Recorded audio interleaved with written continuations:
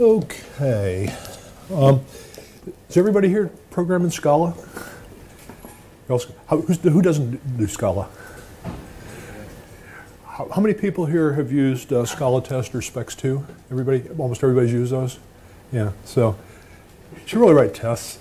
Uh, so, you know, I've been writing Scala code for a long time and, and used both those libraries. I think I started on Scala test, got frustrated, and switched over to Specs 2 and got frustrated. And so I went off in a corner and said, you know, hey, we really ought to be able to do better. And so that was sort of the origin of, of uh, what I'm going to talk about tonight. Um, I'm not going to cover all that. There's probably not enough time tonight. The good news is, is all the material I'm not covering, there's good online documentation. You can go follow up and look at examples and documentation. So, um, testing philosophy. I mean, this is sort of sort of key to what was in mind. One of the things that bothered me about the existing test libraries, they were really big, uh, bloatware, huge, monstrous things, and they keep getting bigger all the time. I mean, how big does a testing library have to be? Um, and I, you know, I think this applies a lot to large systems that we build. Instead of you know building this system that's all things to all people, build yourself a small kernel, clean, nice concepts, and provide nice, clean extension mechanisms where you can customize it in any direction you want. Because you're never uh, going to be able to. Per- well, I suppose you could. You could provide every option people want. Scala Test is trying to do that, and it keeps getting bigger and bigger. Um, uh, a lot of testing I've seen out there, particularly in large companies, uh, managers view test as for them or for the project, uh, the, the, the, project managers, program manager people. Uh, so they should be in English, and you know they should be readable, and they ought to be uh, tied into these people that aren't programmers. I say nonsense. I'm a software developer. I should be, get the same kind of leverage out of testing I get out of writing code, and uh, I, I, want a, I want a tool for programmers, not for for managers. and and finally, it seems sort of odd where uh, in Scala, really the, the, the, great stuff going on is all about functional programming and immutable data, yet the current testing systems are nothing like that. They really are classic, you know, you could have written them in Java. Uh, there's, there's, nothing, there's nothing very functional or immutable about existing systems. So um, can we do something in terms of addressing those issues? Here's some of the existing uh, Scala ones. Uh, I've still seen people use JUnit. I think uh, some of the Lightbend people told me they actually continue to use Light, uh, JUnit. That was fairly recently. And again, the two big ones, Scala Test and Specs 2, I mean, I, am absolutely appalled. 400,000 lines of code for a testing library in, in Scala Test. Specs 2 is a little better. Uh, there's a thing called Microtest, which is sort of cute. It was um, designed by uh, somebody who was, was interested in the Scala JS uh, version and, and, discovered they were having trouble porting Scala test. How many people here have used Scala Check? Scala Check is awesome. Uh, I mean, it's the one up on those. I'll come back and talk a little bit about it, but I think that's really uh, one of the things that we should be looking at more carefully. So, you know, I think this just repeats, I think, the things I said earlier. I believe we're a small, clean, pure Scala, purely functional system. And uh, the, the system's around 1,000 lines as opposed to, you know, the previous numbers here, 400,000 lines. And it does, I think, everything those systems can do uh, in a lot less space. Oh, and it supports Scala Check as a, as a component within it. So, um, you know, usual thing, it's, uh, it's out on Maven Central. You can pull it down. Um, and all you need is an import statement. Then you can immediately start writing your test. So let me, let me pull up a, hello.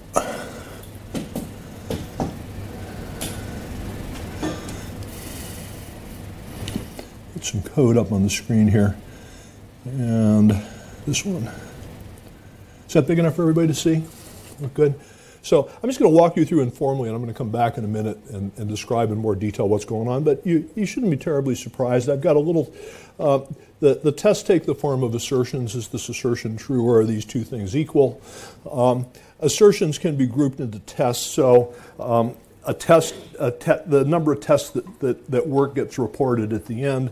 And there's also labels that can be used for higher level grouping. And, uh, you know, you shouldn't find any of that terribly uh, low.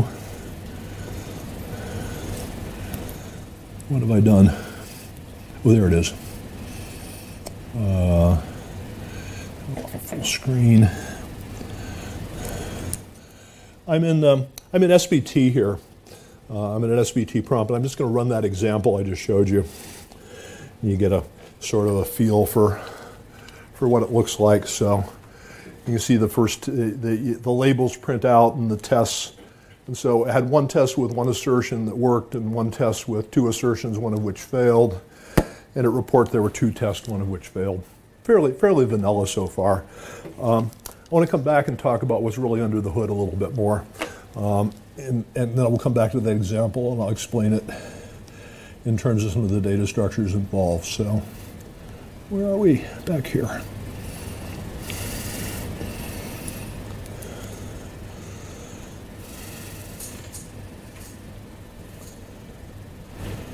Hello. Me, computer. Oh. Ooh, what's happened to me? Hello, there's the slides. Here we go. Um, so concepts. Um, I assume everybody here understands the difference between imperative and functional programming. The focus here, you know, the, the, the existing libraries are all imperative. What happens is there's a some kind of big state data structure inside of things like uh, Scala test, and every time you execute one of those lines in the program, it makes some change in that mutable state associated with it.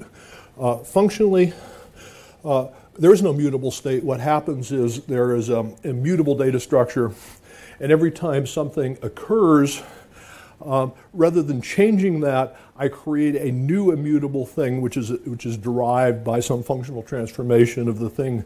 So before an assertion, I have a value. After the assertion, I've got another immutable value, and that value has the original one plus it captures whether that test succeeded. So, um, data structures. Um, the, the first data structure is a thing called lambda state. This is that state I was talking about. It, it's this immutable thing that captures all the information about a particular point during the computation.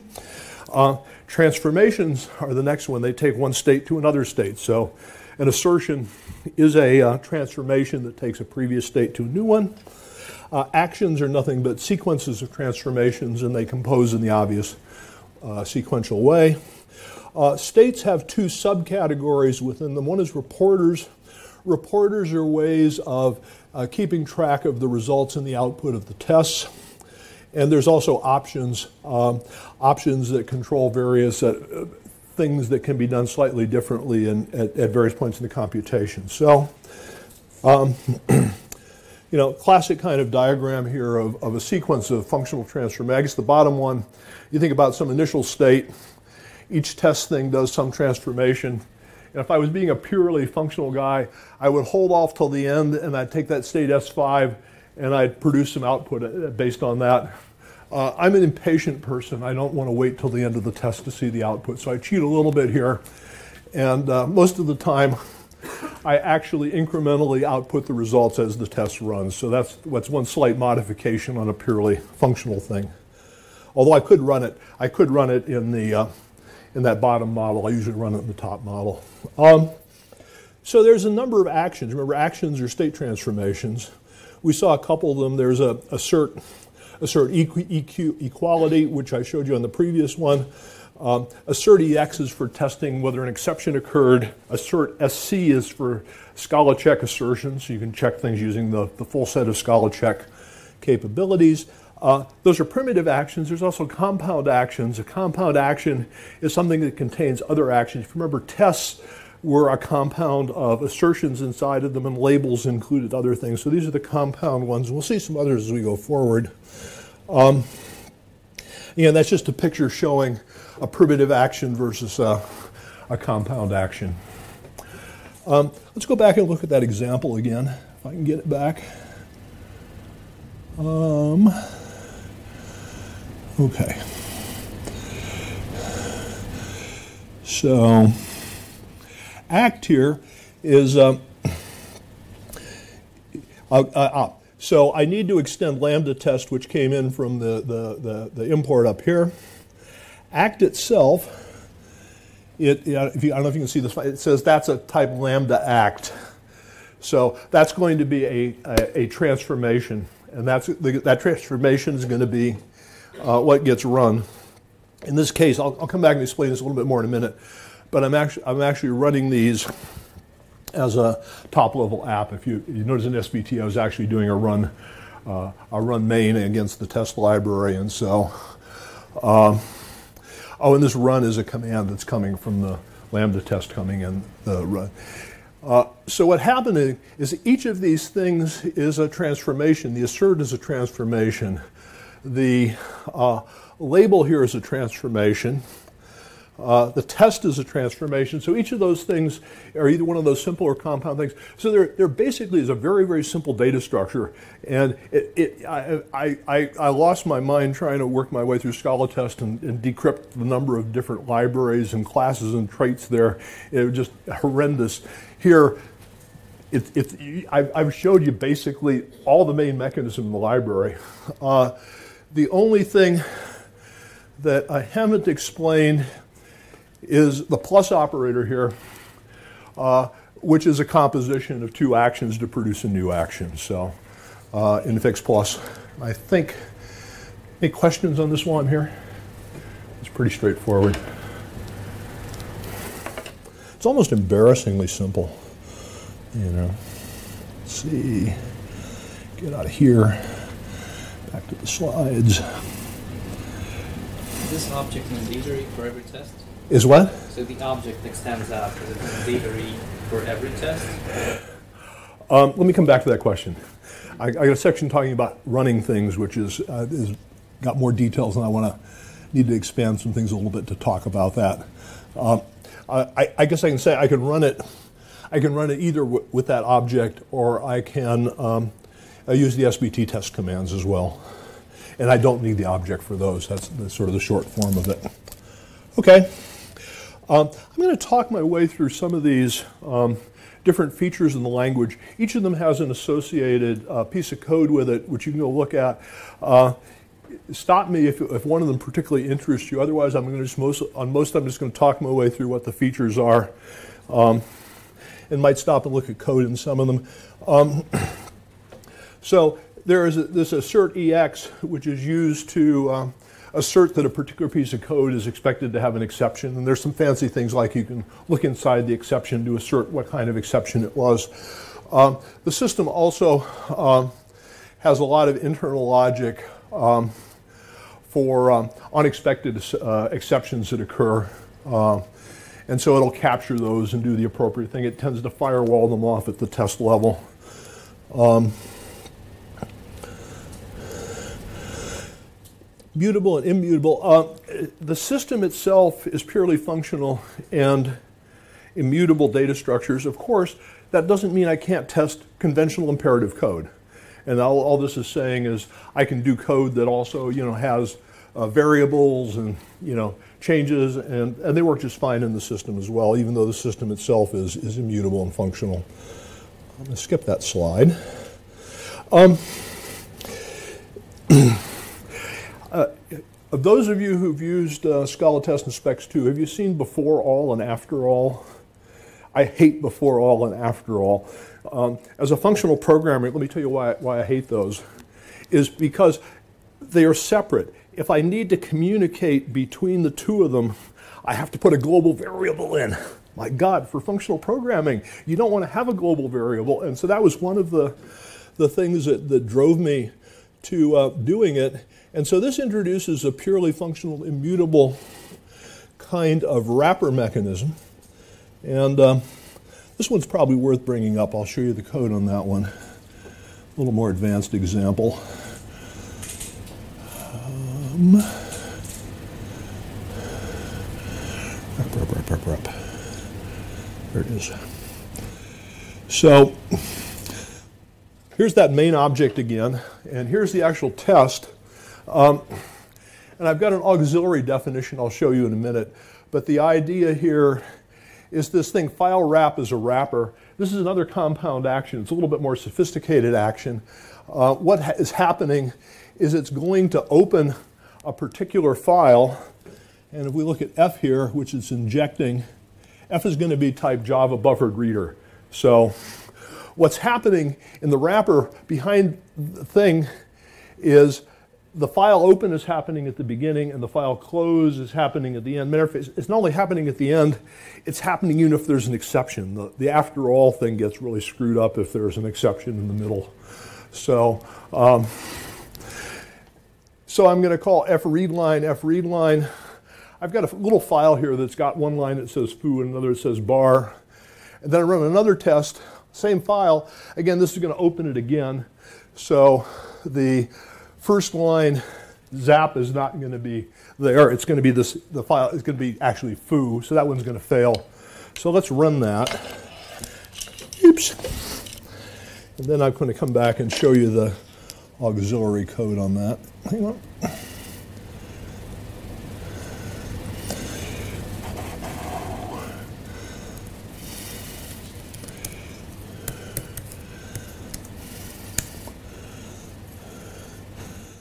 And you notice it, it, it does what I said. It, the, the first line was foo and the second line is bar.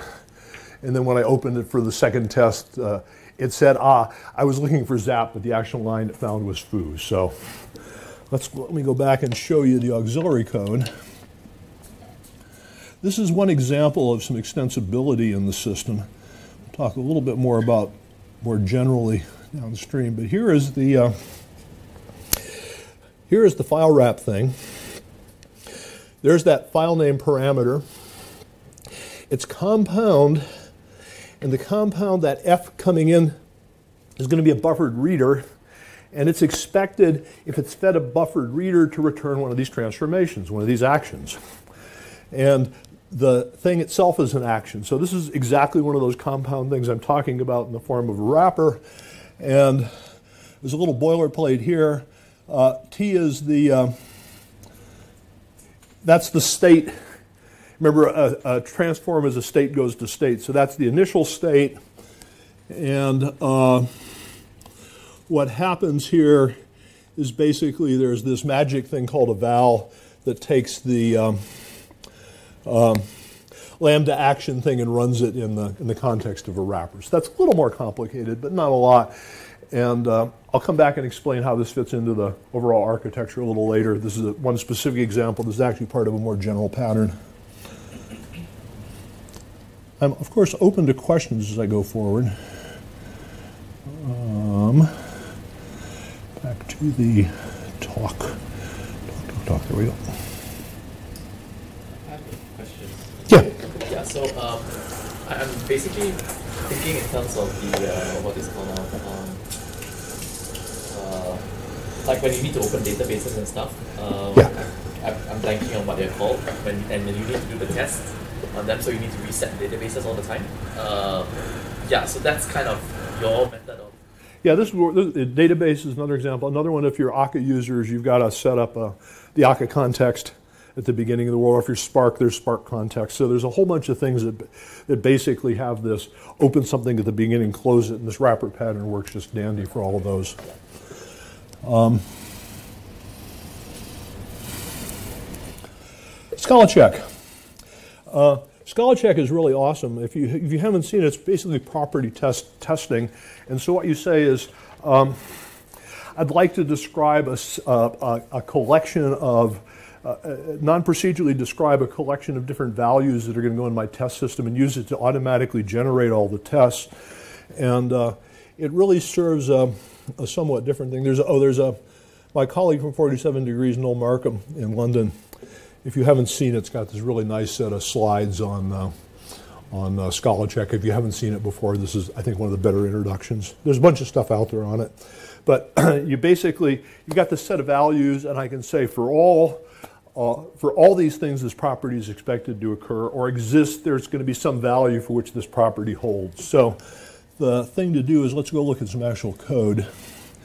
I think makes it a little more concrete if you haven't seen it before. Also, we'll see how it fits into this system.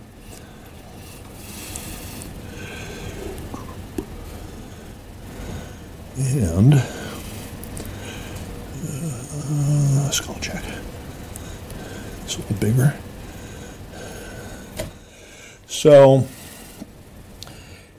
Here's your, here's your basic assertion. This assert SC, this is a, a lambda test thing. Inside its body is, uh, is ScalaCheck code. So that's actually ScalaCheck code. And this says, this is sort of the classic example. If I, if I concatenate A with B, uh, it's going to start with A. Um, and uh, I didn't specify the data set. Uh, ScalaCheck has a set of defaults. I, think it's a couple hundred or something it runs by default. We'll see when we run it.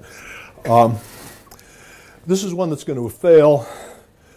If, uh, if, a, if I concatenate two things, it's going to be greater than the A length, and it's going to be greater than the B length. That obviously fails if A or B is the empty string.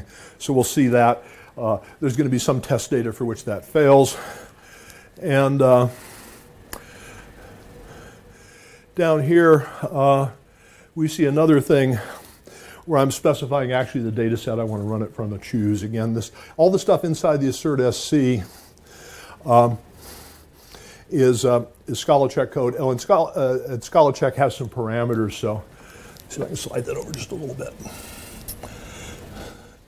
So you can set the various parameters in here as well if you've seen ScalaCheck before. So um, integrates very nicely. I think it, you know, I mean, they, they really serve complementary roles. So let's run that just to see what it looks like. And that was ScalaCheck.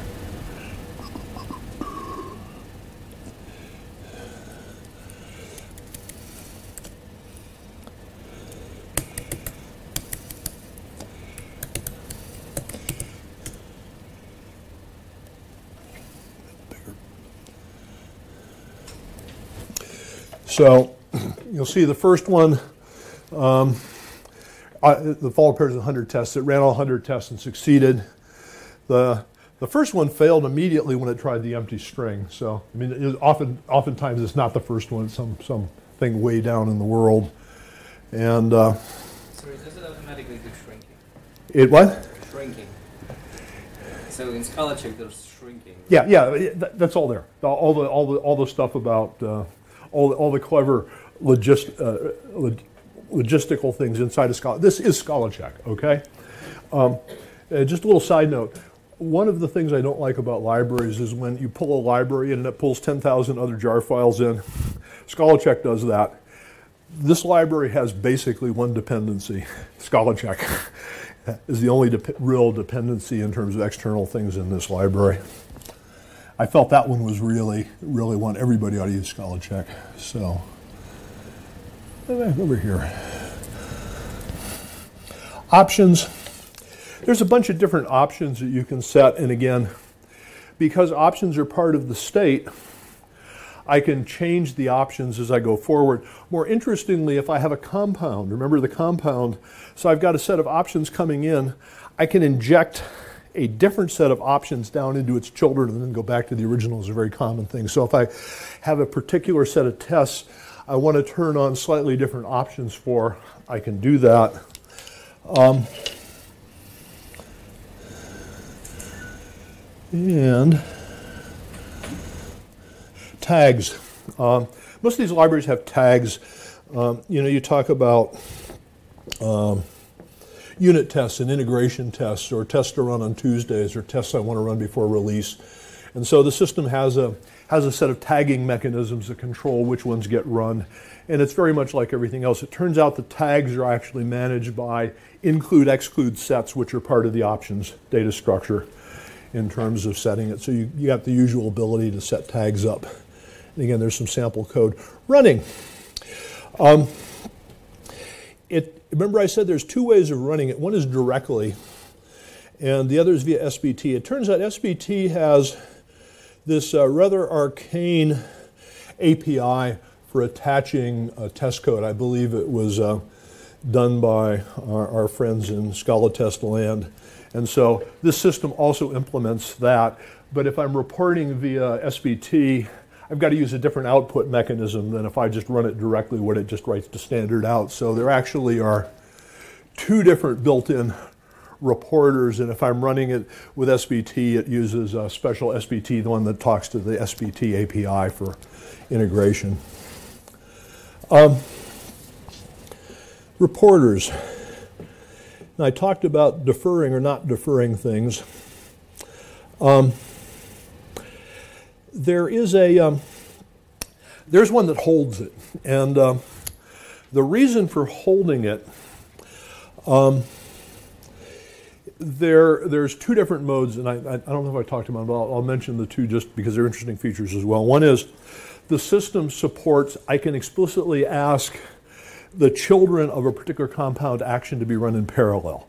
So what happens is it actually um, uses uh, uh, Scala futures, and so it'll, it'll run each of those child, children. Now, if I, if I just run it the standard out, the output from all those children is going to get intermixed. So what happens is the behavior is it outputs the first one immediately and then waits for all the others to complete and then outputs them all in the order that they were written originally. So it uses that hold reporter to, to, to temporarily, and so that information gets stored in the state, uh, the reporter state, which again is part of the overall testing state. Um, the other one uh, is an interesting one. I don't know if you guys have ever run really huge sets of tests and um, you know, they're, they're regression tests for a really big system, and you get page after page after page of output. And I have to look for was there a failing test, which was on page 23 or something. There's this cool option called only a fail, and it only outputs the failing things, but it's part of the test, so it actually runs the entire test to see if there are any failures, and if there were failures, it outputs that whole test block. And so it uses the hold reporter until that test is done, and then it decides whether to output it at that point. So that's how that's being used. Uh, I mentioned parallel execution, uh, and I think I said everything there. Um, extending. This is one of the key things is can you take a core library and really extend it into radically different domains? Uh, you know, I got this very simple uh, 1,000 lines of functional immutable Scala code. Can I do some really fancy things with extending on that, on that API?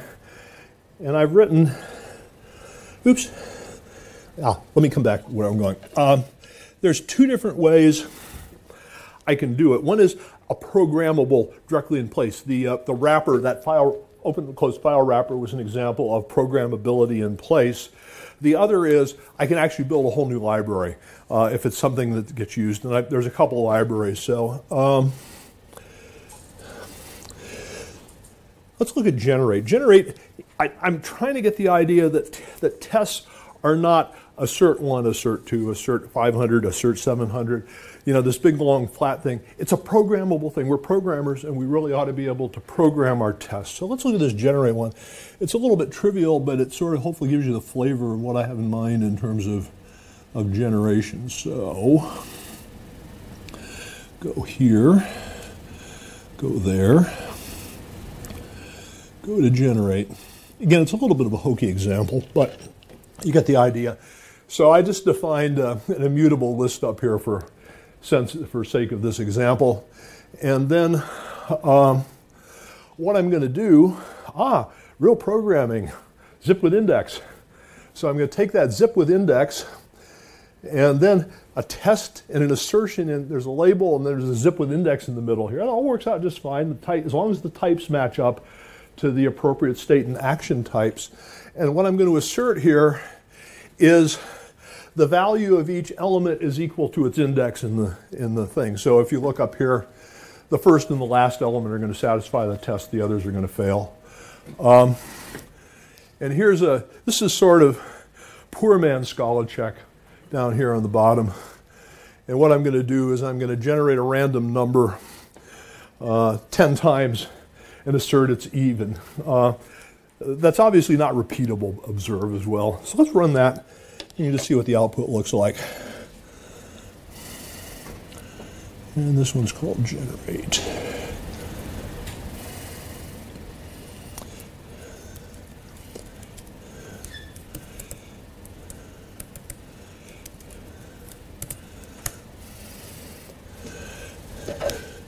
Okay, so you see um, zero worked, one failed, two failed, three failed if I if I turned on the only a fail mode, what would have happened is these, the first and the last one would have vanished in the output. So that, that's what that option would have done. I didn't turn it on here. And uh, you'll notice here it found some, uh, some things. If I run it again, uh, I'm going to probably see a different set of numbers there on the output. So yeah, you see I got a different set of outputs from the random number generator. But the idea basically is um, testing is not this domain in and of itself where you can't juggle anything. It's just another kind of programming and another set of data types that you can integrate. Uh, you know, I, I, think particularly in my mind, if I'm building a, if I'm building a large system um, with unique properties, oftentimes I'm going to want to build a sort of test jig for, just for that system that's got that, that recognizes some of the interesting properties of what I'm testing in the system. So I'll define my own custom testing library in the system and then have those custom tests tailored to the particular project I'm on. If I'm just writing a little piece of code, probably I just use the stuff that's built in. But if I have a big project and I have a lot of customization I want to do, uh, being able to build those is probably a, a good thing. Question? Question? So you, you're printing out get even there. Is that a custom assert that you wrote? Let's go back and look at let's let's look at the code again for a second. One of the things Hang that on. I found um, frustrating about ScalaTest is printing out. You- they, have, you- they have built-in asserts that have useful, out useful stuff. But if you write your own thing, it is a pain in the ass. Well, you, you'll see. You'll, the two, first first comment is you'll notice it's it's a it's a an interpolated string here. It was uh, it, right here.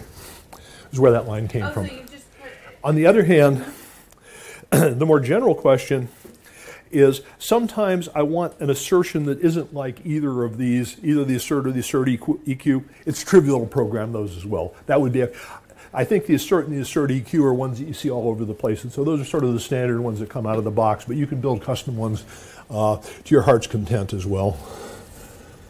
Answer your question? Okay. Um,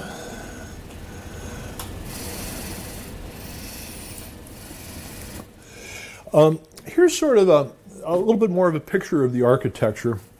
There really are three layers. There is the core part of the system here that's got the state and the actions.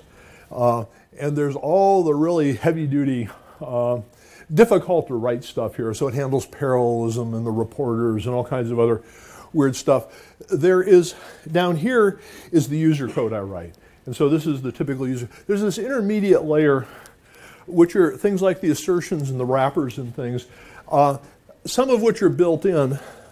But I was just telling, uh, just mentioning the fact that if I wanted a custom assertion, what I would do is I'd build it here. There is a lower level APIs here. Well, we saw a val. Remember, Val was in the wrapper code. If you remember back there, there's this magic eval that, that knows how to run. It knows how to execute a Lambda act to do the transform. And there's a whole bunch of primitives for the state. So this is the stuff that lets me put more surface stuff on it and tailor it. There's actually a lot of freedom there. And so there's a set of ones that are built in just because in my mind at least they were the ones that were sort of the more obvious ones I want to use day to day in common tests. But it's easy to build new ones. So with that said, um, I think that just said, I think I just said all that. Um, talk about more information. And uh, we can, I think we're running good on time. I can come back and we can go back to earlier examples if you want. So think about what you might like to talk about. Let me just do this here real fast. Um, they're extensions. These are three extensions I've written. These are all, all also open source projects out there. Uh, the first one's a timing library. It, uh, you can time how long it takes to run a piece of code, or you can run that piece of code multiple times and get the, the, the mean and standard deviation on timings and things like that. So it's a, you know, if you need to do timings, it just, you pull that library in and it just fits in as a new set of, of assertion time things. That, uh, there's also the ability to write a test that says this piece of code has to satisfy this particular timing constraint. So if you've got a time critical code, you could write an assertion saying this code has to run that fast. Yes. Uh, Just a question on the timing. Uh, uh, we've, I've used uh, ScalaMeter in the past. It does a bit of warm up before it does the timing. Yes. Is this does the same? There's an option for warm up on this as well, yes. Uh, I, I, I, I, one, of, one of the libraries I've written um, earlier in this was a, a JSON library. And I, we did we did incredible amounts of extensive timing testing on this JSON library and a whole bunch of other Scala JSON libraries, and uh, it's a bear trying to get repeatable test results on a JVM. The warm up helps, but it's it's it's definitely not sufficient. Uh, I think there's a real black art in terms of yeah. Again, warm ups are good, but if you're really serious about timing, it's it's it's a hard problem. This this gives you at least the, the simple form. Um, the second one is, could I do something with actors? There's a there's a, an actor test kit that comes as part of Akka that, I, that I've never been terribly fond of. And so I built my own custom extension to LambdaTest here that can be used for testing actors. So in effect, you know, you can, you can, you can, you can send messages in and have expected messages. It's obviously asynchronous. So, uh, you know, you send a message and then there's going to be some period of delay and you, you set timeouts and things on those as well. So you know you can you can basically uh, do unit tests on um, on actors. Uh, the other one is it, is it all the output I showed you for so far goes sort of to standard out. Um, I thought it would be interesting if I wanted to build this as part of a more automated system. Maybe I want to capture the output of the test in machine readable form. And so what I did is I built another um, uh, writer instead of a standard out one. It captures the data and all the output that was standard out uh, goes into a, a, JSON file that you can then parse very nicely and, and take a look at the output uh, with post-processing code. So uh, those are just examples. Those three that I, I, thought were cool to write, but it's easy to write these. I guess the the uh, the the Akka one was, was sort of non-trivial, but just because Akka is non-trivial. The other other two were relatively simple to write. And the Akka one was non-trivial not because of LambdaTests, but because of the complexity of using using Akka. How many people here have used Akka? Most, most of you guys, okay. Um, I think it's really important. I think a really sad trend in the industry today is the lack of documentation or the crappiness of what gets produced. And I, I really, I, I, really, I really, you know, as a developer, think it's, it's really bad. One of the advantages of this kind of a system being small is the documentation tends to be small. Think about documenting uh, um, Scala test, 600,000 lines. I mean, they got to have huge documentation, keep it up to date. Uh, so there's a there's a bunch of documentation. I'll go I'll go over and show you some of that in a minute. But there's a there's a set of there's an online user's manual. There's ScalaDoc for all the APIs. Uh, I showed you some of the sample code. I tried to write short samples of, of most of the major features. Um, I've written a number of blog posts on the 47 Degrees blog, and plus there's the extensions I talked about. So, see where am I on the slides? Yeah, let's uh, let's take a break, and I'm just gonna oops. I'm gonna go show you the the GitHub. Okay, so here's the GitHub site. And uh, most of the documentation is off in other places, so um, the ScalaDoc and sample code are obvious. Um, these sort of nice little, well, click. There we go. Um, so here's this. This is uh, a little blog post that talks, this is a sort of a repeat of some of the philosophy discussion I gave you earlier in a blog post that talks about the philosophy of building systems this way. So that's an example. Um, also, it uses this um, 47 degrees, got this really cool documentation tool. Um, and this is what it looks like. So you got a nav bar here, and uh, you know, we can go through so no comparison. There's more detailed information on the different, how the different libraries compare, for example. And uh, there's a quick start. Uh, concepts, we talked about concepts a little bit. Actions. So these are the built-in actions that we, we saw a number of those. We didn't see all of them. There's like one to change options. Um, information on how to run it. Um, oh, and of, of, course, you know, it's an open source project. Uh, anybody who's willing is, uh, is certain, I'm, I'm, certainly willing to take um, contributions with one rule. The one rule is I intentionally made this library small. If you can't argue that you can't do it with an extension, I don't want to put it in the core. I think it's a very different philosophy than a lot of systems where, you know, again, we, we're getting this bloatware dumping of everybody's crazy ideas in open source project. I think it's a really bad trend. And, you know, this is a little piece of sanity in a, in a world that uh, doesn't necessarily support that point of view. So, anyway, you get the idea. And of course, there's the usual. drill myself down to the library. So, okay, here's LambdaState. That's that internal API. Um, I, uh, I mentioned that you build, this is the lower layer that things like assertions and stuff are built on top of. So these are the uh, some of the, the, the, internal APIs. If you want to add extensions, you'd, you'd work in terms of these APIs.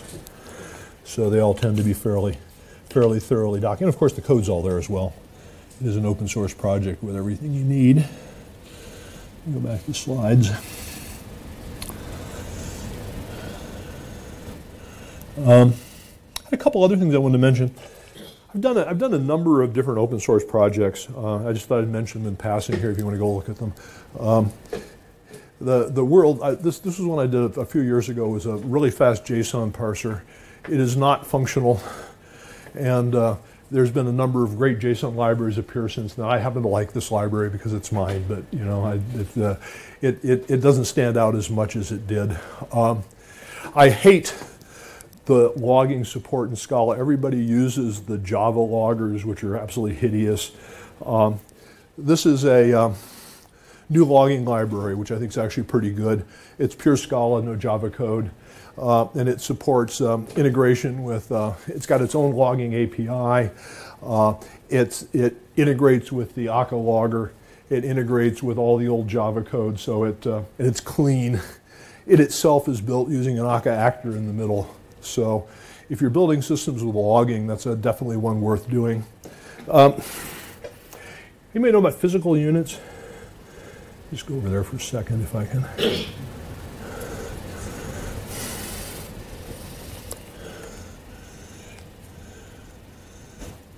It introduces type checking, a little bigger, where you actually statically type check your physical units, meters, centimeters. Uh, number of people built libraries. I actually, actually, I think I actually did many years ago. I actually did one of the first specs on this, uh, the first implementations of this kind of library, way, way pre-Scala.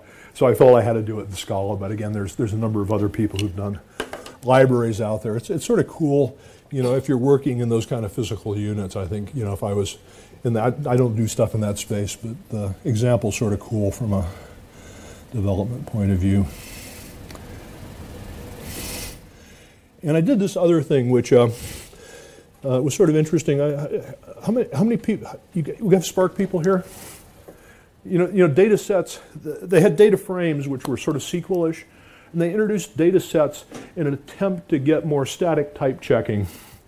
And it turns out, if you look at them, they actually don't fully statically type check. Uh, and there, there, there's some interesting deep reasons for this, as it turns out there are significant weaknesses in the Scala type system. Odersky is in the middle of hopefully doing a Dotty, this new version of Scala, which is going to hopefully fix some of it. I, am not entirely convinced. But so I wanted to say, could I actually build a library that was fully statically type checked? You want to check two things. You want to check the types are correct.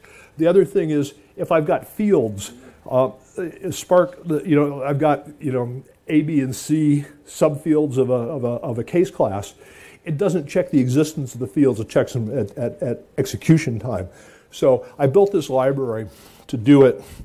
And it was an interesting experiment because I used Scala macros um, I learned far more about Scala macros than I ever want. I'm, I'm pleased to hear that Scala macros are now deprecated and going away forever. Uh, what a horrible, terrible design. So the, the biggest thing I learned out of that is um, if you can all avoid it, uh, don't use them. Um, the, the best way to use them is there are a number of libraries that, um, that are built on macros that present a, a friendlier view of the world. Shapeless is, is one that, that probably comes most immediately to mind. Uh, don't un, unless you unless you're a total masochist, don't don't ever try writing anything with macros. So anyway, uh, and Just on that, so what do you think about the new Scalameta stuff? I have not looked extensively. I think you know what I've seen of it is it's looking much cleaner than the, the macro stuff. I, uh, it's always tough when you just read the documentation, which is all I've done on it, to really get a feel. I mean, one of the reasons I did this project is I really wanted to, to kick the tires on macros. You learn a lot by actually writing code, and I haven't written any code with Scalameta, so I think that's the sort of test in my mind to really understand it deeply. You got to write code, and I haven't done it yet. Um, uh, this, uh, the work on ScalaTest was actually done at 47 degrees. There's some little stickers over there. Uh, I'm no longer with them, although they're my friends. And I, I, since they supported this project, I wanted to give them a little plug. Um, they're, uh, they're an international company, headquartered in Seattle, where I'm at. They have an office in London. They got a large development team in Spain, which is sort of cool, in Cadiz. Um, they've got a ton of open source projects. You saw the the Scala checks, checks the, the Scala, um, you might say, the, the Scala examples uh, is they, they got a huge number of projects. They, oh, Scala exercise, that's what I'm trying to say. Scala exercises, as well as a bunch of other open source. It, it's really a cool company because the people there have really been major contributors to a lot of open source projects. They've really been active in the community, so they've got some cool stuff out there. Uh, they partner with all the usual culprits. Uh, more interestingly, they're a member of the advisory board of the, of the Scala Center, so they actually are very influential. They actually built, um, uh, not so with a lot of recognition, they built a lot of the software for the, for the Scala Center, actually. So if you ever go to the Scala Center website and stuff, the 47 Degrees guys actually built it. So anyway, I wanted to give them a little plug since they're my friends and since they help support the project. Anyway, I think that is, we're, and we're good, we're just about right on target on time, so I'll take questions. Is there a plugin for mocking libraries already built by someone? Is there a plugin for? Mocking anything. Like Mockito, Scala. I don't. I don't know. You know, the Scala Center's got this great. Let me back up here. Pull the website up if you haven't seen it. Um,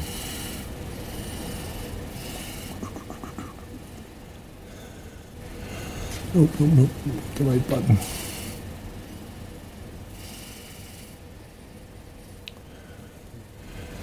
In just a second.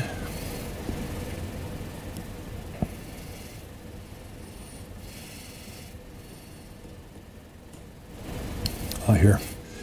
The uh, badge at the top. The right badge.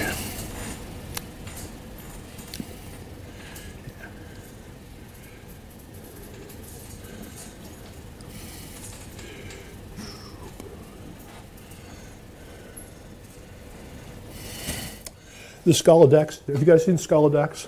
This is something out of the Scala Center, and it's a uh, index of lots of open source projects. This is the page for mine, but if you if I was looking for mocking libraries, just try the experiment real quick. There's an Akka mock, GTP mock.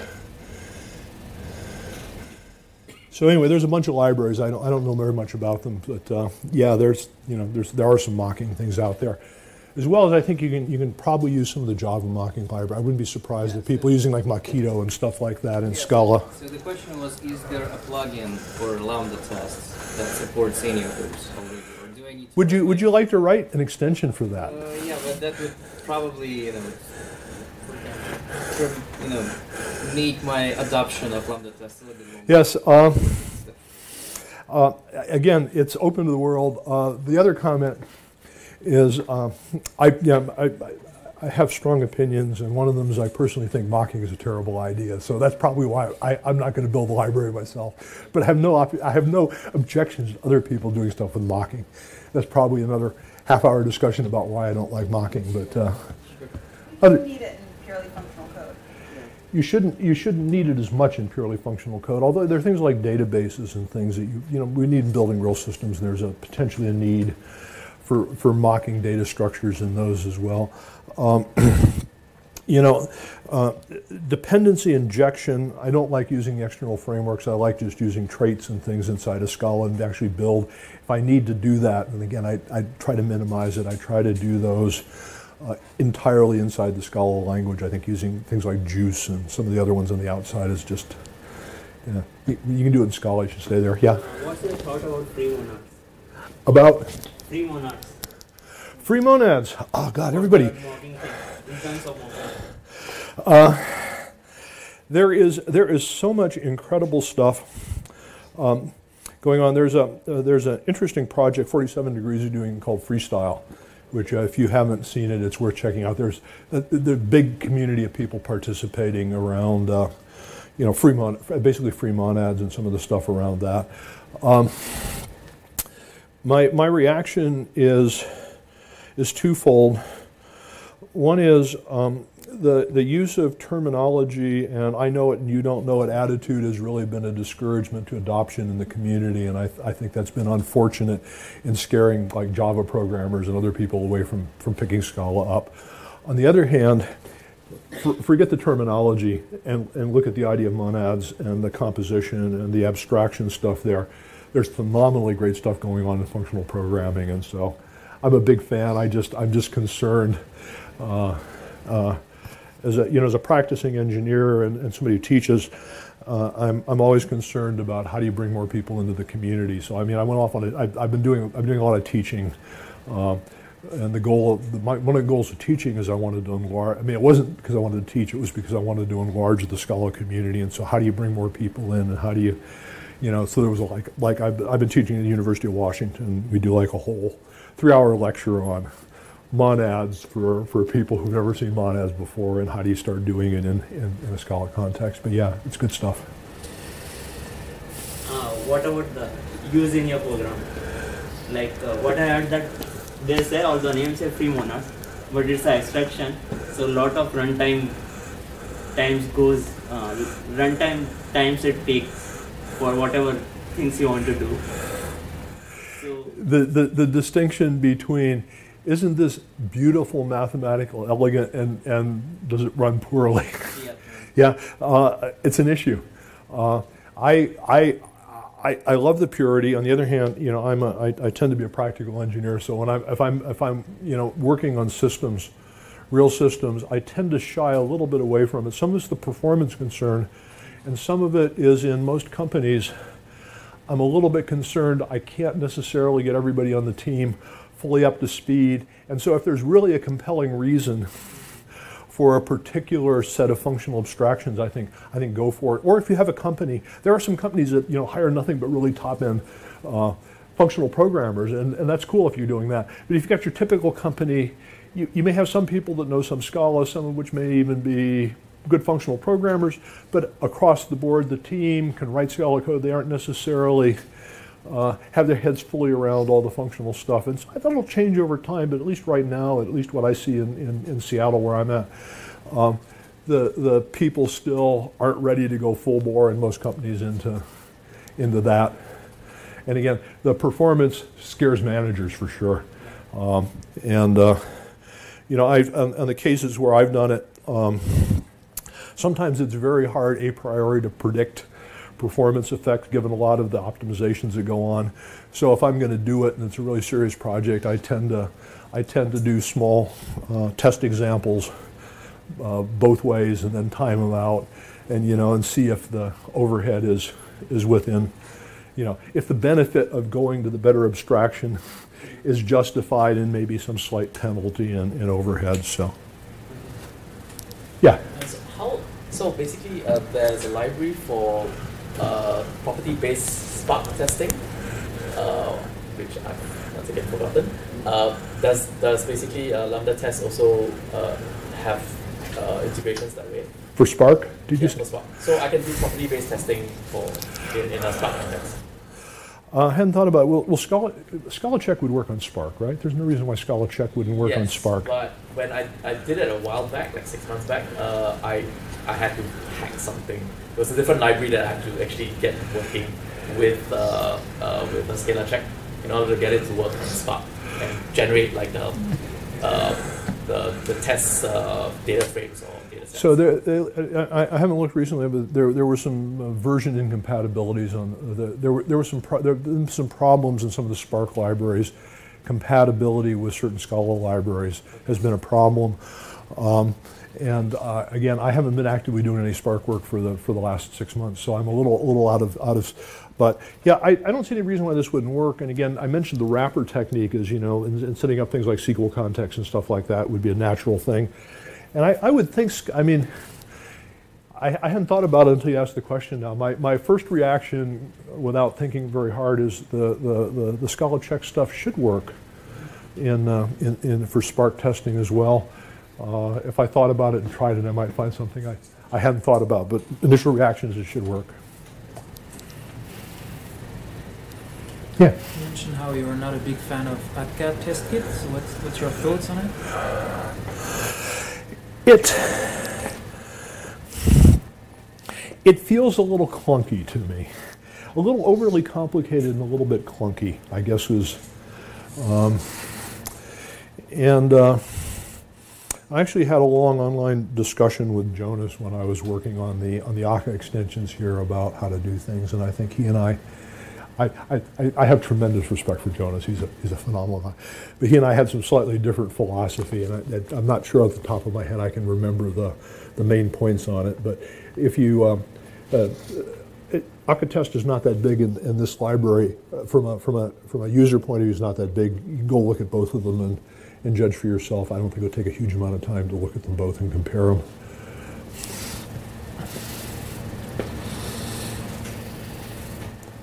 Everybody tired? Okay, Okay, hey, thanks everybody for coming tonight. It's been fun.